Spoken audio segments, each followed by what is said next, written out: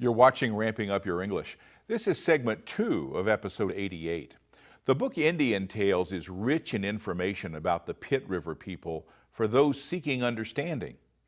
In just the part that we shared, there are themes that reach beyond the Pit River tribe, themes that emerge when hearing stories told around campfires in numerous locations across America.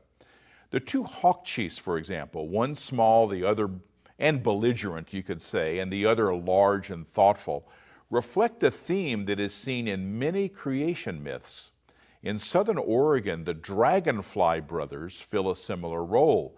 One is impulsive and not very nice, while the other is thoughtful and courteous. It's the theme of duality. It's not that one is right and the other wrong. It's the embracing of the entire duality, an acceptance that is seen in the worldview of numerous Native people. There's another theme, that of hospitality is the way to pronounce it, the way that a visitor is treated. Now note that the Bear family was invited to spend the night in the home of the chiefs. De Angulo's Indian tales reward the reader with a plethora of examples that help reach a level of insight and cultural discovery. I'll only share a tiny fraction of what's in, in his great work.